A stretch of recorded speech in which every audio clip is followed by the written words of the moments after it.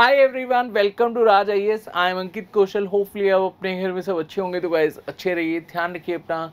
And guys आज हम discuss करेंगे करंट अफेयर के पॉइंट ऑफ़ व्यू से काफ़ी important topic R B I unexpected repo rate pause अब देखिए, इस सेशन में हम काफ़ी डिटेल में डिस्कस करेंगे रेपो रेट होता क्या है और साथ साथ मोनिटरी पॉलिसी कमेटी क्या होती है। लेकिन सेशन स्टार्ट करने से पहले हमेशा की तरह टॉपिक से रिलेटेड क्वेश्चन देख लेते हैं। तो रेपो रेट के कंटेक्स्ट में तीन स्टेटमेंट हमारे पास गिवन है। फ़र्स्ट स्टेटमेंट क्या कहती है? Bond yield are significantly affected by repo rate second statement the central bank adjust the repo rate in response to inflation and third statement R B I tries to hedge and leverage by purchasing security and bonds from bank and providing cash in exchange for collateral deposited तो hopefully तीनों ही statement आपको clear होगी होंगी। आपने मुझे comment section में video को पोस्ट करके अभी बताना है कि कौन सी स्टेटमेंट यहाँ पर सही है, कौन सी स्टेटमेंट गलत। अगर इनके मान लोगे आपका क्वेश्चन गलत हो भी जाता है तो लास्ट में हम क्वेश्चन को काफ़ी डिटेल में डिस्कस करेंगे। तो वहाँ पर आपको पता लग जाएगा कि कहाँ पर आपने गलती करी लेकिन आपने कमेंट ज़रूर करना है तो चलिए टॉपिक पर चलते हैं। और सबसे पहले समझ लेते हैं कि रेपोरेट होता क्या है। देखिए, अगर हम ईजी वर्ड में बात करें, अगर कोई भी बैंक यहाँ पर मान लो आरबीआई से लोन ले रहे हैं शॉर्ट टर्म बेसिस पर। तो उसको हम क्या बोलते हैं? रेपो रेट बोलते हैं। यहाँ पर आपने याद रखना है, कोई भी बैंक अगर आरबीआई से शॉर्ट टर्म बेसिस पर लोन ले रहा है तो उसको हम क्या बोलते हैं? रेपो रेट और अगर मान लो कि आरबीआई किसी बैंक से शॉर्ट टर्म बेसिस पर लोन ले रहे हैं तो उसको क्या बोला जाता है? रिवर्स रेपो रेट अब देखिए रेपो रेट के कंटेक्स में हमने ये तो समझ लिया कि शॉर्ट टर्म बेसिस पर अगर कोई भी बैंक आरबीआई से लोन ले तो उसको हम रेपो रेट बोलेंगे। लेकिन यहाँ पर बैंक रेपो रेट के कंटेक्स में लोन लेता क्यों है? मतलब शॉर्ट टर्म बेसिस पर लोन लेता क्यों है? तो देखिए, यहाँ पर आरबीआई के द्वारा कहा जाता है कि आपको अपना एनडीटीएल मैनेज करके चलना है। मतलब ऐसे समझ लो कि अब सभी के सभी जो बैंक्स हैं, उनको कौन गवर्न करता है? आर बी आई ने कहा है कि आपको हंड्रेड करोड़ का बिज़नेस करना है। मैं एक एग्ज़ाम्पल के थ्रू आपको समझा रहा हूँ। यहाँ पर आरबीआई ने बोला है पीएनबी बैंक को। हम यहाँ पर पीएनबी बैंक का एग्जांपल ले लेते हैं कि आपको हंड्रेड करोड़ का बिज़नेस करना है। तो यहाँ पर जो एनडीटीएल होगा, वो कितना होगा? हंड्रेड करोड़ एनडीटीएल क्या होता है? Net demand time liability demand और टाइम ये जो दो वर्ड हैं, इनको आप अच्छे से समझिएगा। देखिए, जब हम बैंक में जाते हैं ना, या तो हम लोन लेने के लिए जाते हैं, या हम जो हमारे पास पैसा होता है, उसको डिपॉजिट करवाने के लिए जाते हैं। तो डिपॉजिट दो तरह से होता है, एक डिमांड डिपॉजिट और एक टाइम डिपॉजिट। डिमांड डिपॉजिट में दो डिपॉजिट होते हैं, saving account and current account. अब सेविंग अकाउंट में हमें इंटरेस्ट रेट मिलता है, लगभग चार परसेंट के आसपास का। लेकिन जो करंट अकाउंट होता है, इसमें हमें इंटरेस्ट रेट नहीं मिलता। ज़ीरो परसेंट इंटरेस्ट रेट मिलता है, उसके पीछे का रीज़न क्या है? कि इसमें जो ट्रांजेक्शन्स होती हैं वो अनलिमिटेड होती हैं। मतलब हम कितनी भी ट्रांजेक्शन यहाँ इसमें कर सकते हैं, ये मेनली फॉर्म ही बेसिकली करंट अकाउंट ओपन करवाती हैं। उसके बाद है टाइम डिपॉजिट टाइम डिपॉजिट का एक बेस्ट एग्जांपल आपने सुना होगा एफ़ डी फिक्स डिपॉजिट और उसके बाद बल्क डिपॉजिट और देन रिकरिंग डिपॉजिट ये एक तरह से टाइप है। इनको हम फिर कभी डिस्कस करेंगे अभी के लिए। देखिए, हमारा जो टॉपिक है वो रेपो रेट है। तो हमारा मेन यहाँ पर कंसनट्रेशन जो है वो रेपो रेट पर ही होना चाहिए। ये जस्ट मैं आपको समझाने के पॉइंट ऑफ़ व्यू से बता रहा हूँ। तो यहाँ पर बैंक ने एनडीटीएल मैनेज करना था हंड्रेड करोड़ और बैंक ये मैनेज नहीं कर पाया। लगभग यहाँ पर बैंक ने 90 करोड़ के आसपास मैनेज कर लिया। और हर फोर्थ नाइट को बैंक का जो एनडीटीएल है वो चेक होता है। अब यहाँ पर बैंक ने पीएनबी बैंक ने आरबीआई से जो एन मैनेज करने के लिए शॉर्ट टर्म बेसिस पर लोन ले लिया और इस पर बैंक को इंटरेस्ट रेट पे करना होगा और साथ साथ कोलेटल भी रखना होगा। तो उसको बेसिकली हम क्या बोलते हैं? रेपो रेट बोलते हैं। तो आपको कंडीशन समझ में आ गई कि रेपो रेट किस बिहाफ पर बेसिकली हमें देखने को मिलता है। मतलब जो शॉर्ट टर्म बेसिस पर लोन लिया जाता है किसी भी बैंक के द्वारा आरबीआई से और कॉलेट्रल यहाँ पर गिरवी रखना होता है। और देन यहाँ पर कंडीशन भी होपफुली आपको क्लियर होगी होगी। अब यहाँ पर रिवर्स रेपो रेट को अभी के लिए आप स्किप कीजिए।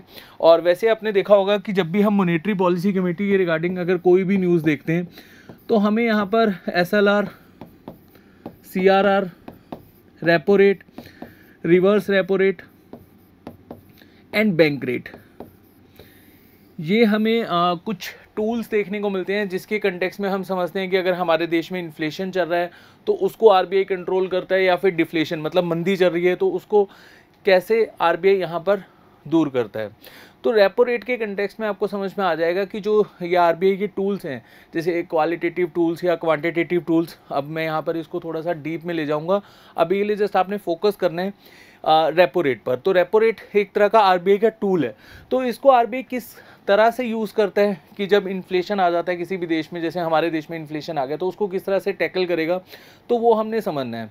अब यहाँ पर हमने जो फ़र्स्ट स्टेटमेंट समझी थी कि रेपो रेट बेसिकली अभी के लिए आरबीआई ने उसको पोज कर लिया। लेकिन कुछ महीनों से अगर हम देखें तो कॉन्टीन्यूसली आर रेपो रेट जो है उसका इंटरेस्ट रेट बढ़ा रहा था। मतलब यहाँ पर आ, या तो 0.25 के आसपास इंटरेस्ट रेट बढ़ रहा था या 0.50 के आसपास से इंटरेस्ट रेट बढ़ रहा था।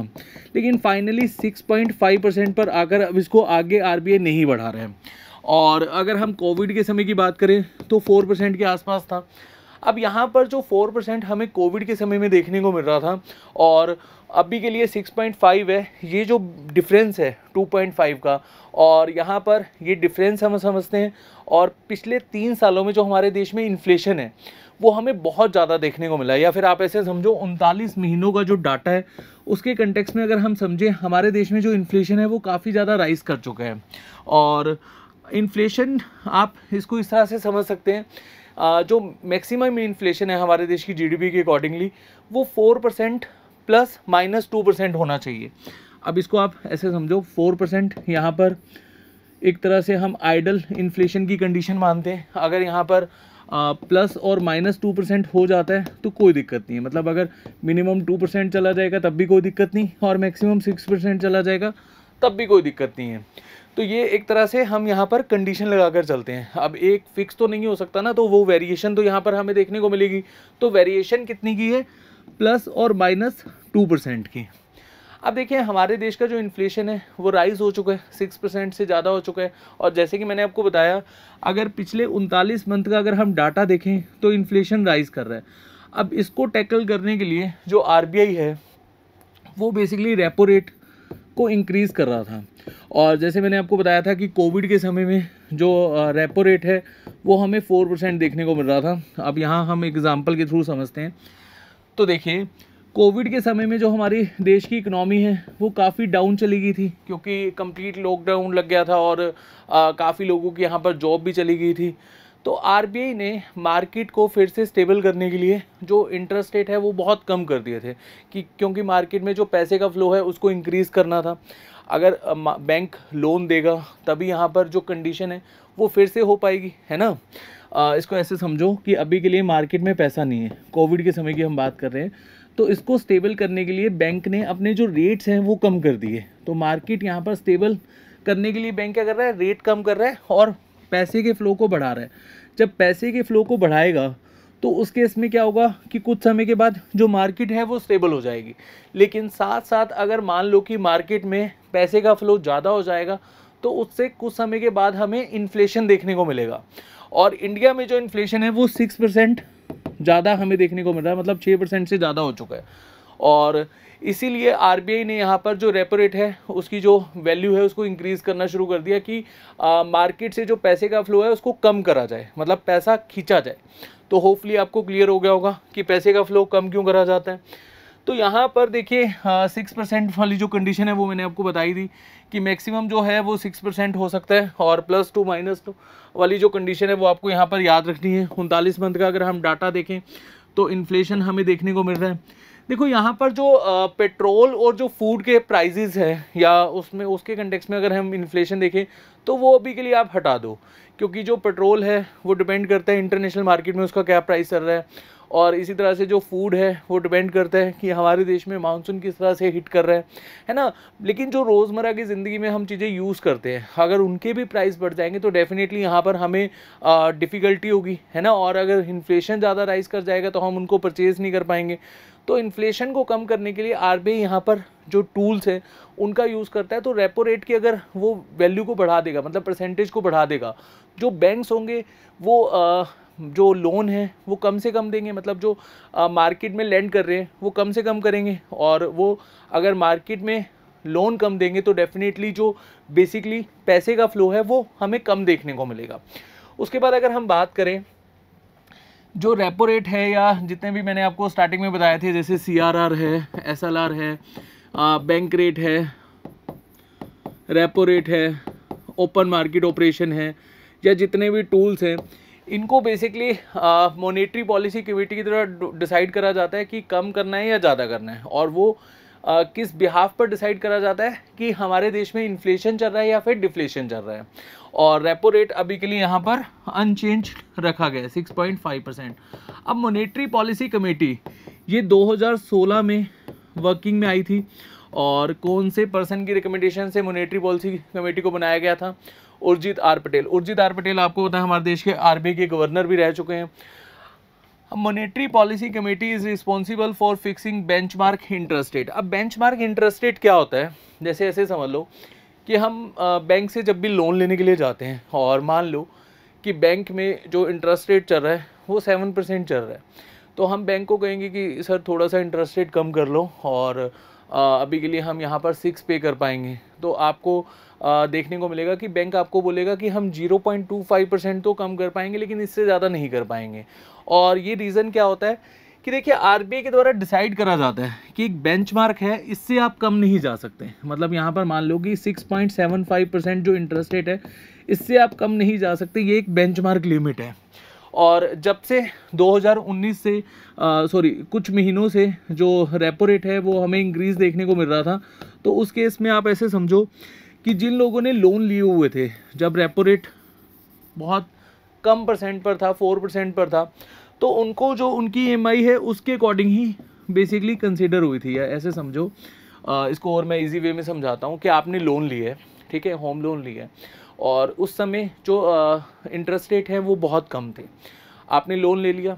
अब आपकी जो ईएमआई है, वो फिफ्टीन थाउज़ेंड फिक्स होगी। लेकिन अब इन्फ्लेशन को दूर करने के लिए आरबीआई जो इंटरेस्ट रेट है, उसको बढ़ा रहा है। अब जैसे जैसे इंटरेस्ट रेट बढ़ा रहे हैं तो बेंच भी कहीं ना कहीं वो इंक्रीज़ होगा। अब बेंच इंक्रीज़ होगा तो आपका जो ईएमआई है, जो पहले पंद्रह हज़ार जाता था, वो पच्चीस हज़ार जाना शुरू हो जाएगा। और जो भी लोग ईएमआई भर रहे होंगे उनको एक राहत भरी सांस देखने को मिली होगी, जब से उन्होंने सुना होगा कि रेपो रेट में अब कोई भी फर्दर चेंजेस नहीं होंगे। मतलब ये एक तरह से अनचेंज रखा गया तो होपफुली यहाँ पर जो बेंचमार्क वाली कंडीशन है, वो आपको क्लियर हो गई होगी। उसके बाद अगर हम बात करें यहाँ पर the committee compromise six member six member होते हैं, तीन आरबीआई के होते हैं और तीन गवर्नमेंट ऑफ़ इंडिया के होते हैं।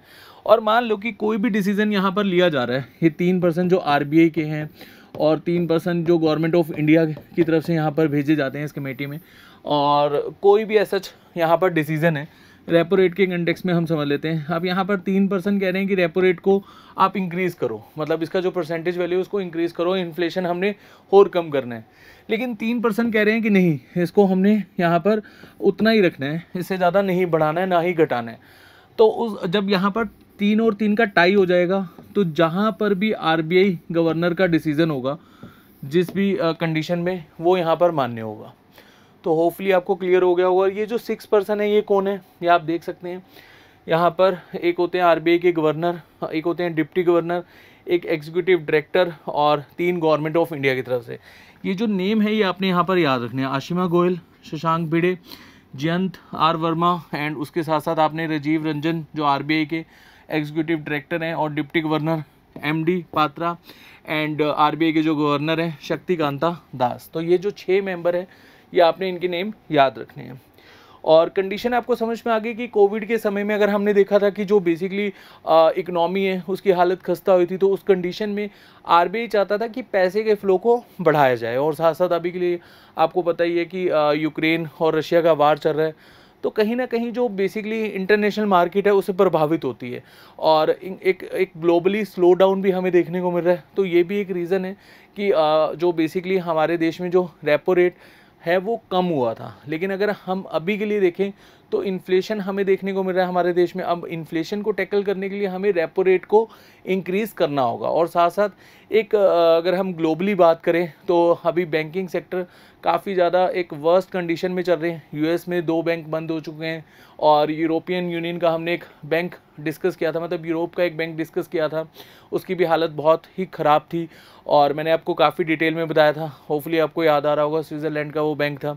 नहीं तो आपको डिस्क्रिप्शन में लिंक मिल जाएगा, उस सेशन को अच्छे से देखिएगा और आपको यहाँ पर समझ में आ जाएगा कि बैंकिंग सेक्टर अगर हम ग्लोबली की बात करें तो काफ़ी ज़्यादा अभी के लिए डाउन जा रहे हैं। तो ये भी एक रीज़न है कि हमें इंटरेस्ट रेट हाइक करना होगा, पैसे के फ़्लो को कम करना होगा। अगर पैसे का फ़्लो ज़्यादा हो जाएगा तो उस कंडीशन में ना तो हम इन्फ्लेशन को कंट्रोल कर पाएँगे और ना ही यहाँ पर जो बैंकिंग सेक्टर अगर ज़्यादा लोन दे पा रहे हैं और अगर ज़्यादा लोन वो दे रहे हैं और मान लो कि वहाँ पर एनपी लाइक सिचुएशन हो जाए नॉन परफॉर्मिंग एसेट्स तो उसको टैकल करना मुश्किल हो जाएगा। तो होपफुली आपको क्लियर हो गया होगा। उसके बाद अगर हम बात करें R B I is increasing repo rate consistently और अभी के लिए रेपो रेट की बढ़ाने का जो मेनली रीज़न है वो है इन्फ्लेशन को टैकल करना। कि हमें इन्फ्लेशन को कंट्रोल करना है। किसी भी हद में इन्फ्लेशन छः परसेंट से ज़्यादा नहीं होना चाहिए। लेकिन अभी के लिए ज़्यादा हो चुका है। तो इसको हम फाइव पॉइंट समथिंग परसेंट पर लेकर आएँगे। तो आरबीआई ने 2023 और 2024 का जो फाइनेंशियल ईयर है, उसमें ये कंडीशन रखी है कि जो हमारा इन्फ्लेशन है, वो छः परसेंट से हम कम करेंगे।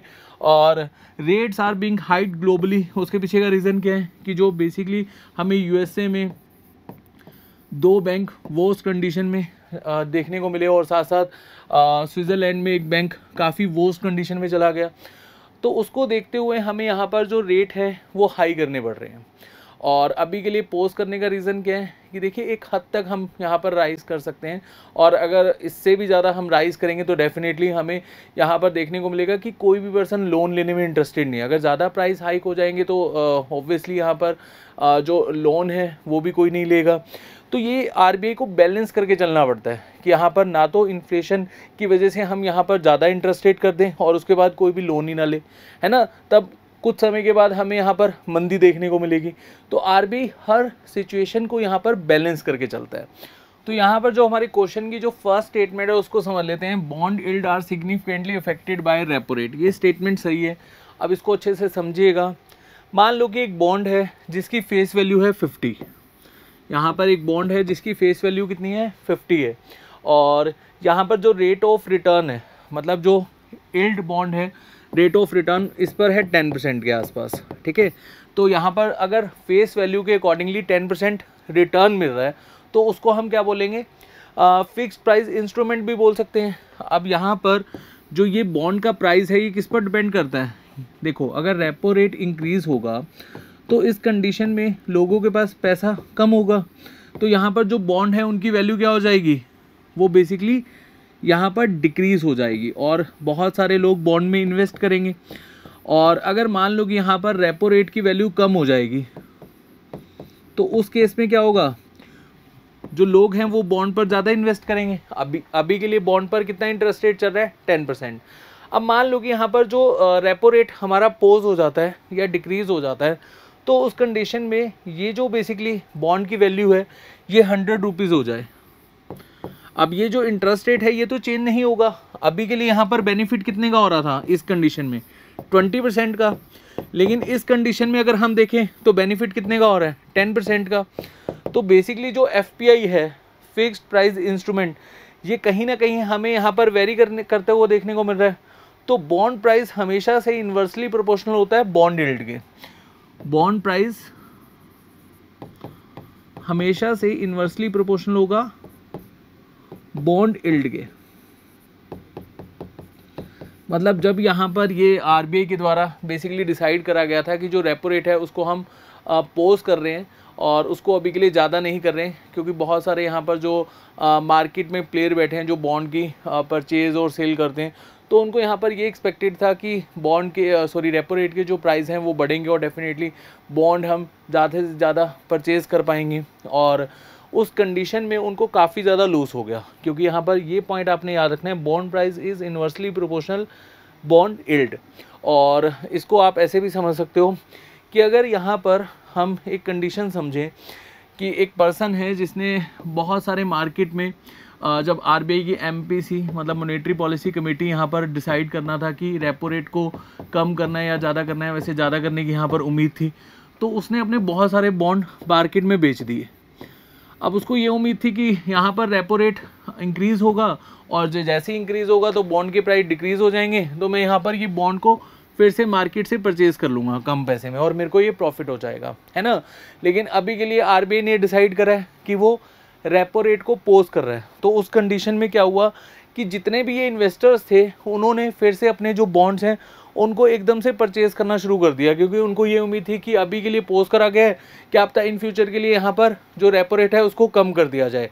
तो यहाँ मार्केट में जो इस कंडीशन को देखते हुए जो एक बॉन्ड को लेकर यहाँ पर ऐसे समझ लो कि परचेसिंग पावर बढ़ गई और जितने भी लोगों ने इन्वेस्टमेंट करा था, उन्होंने बॉन्ड्स को फिर से परचेज करना शुरू कर दिया।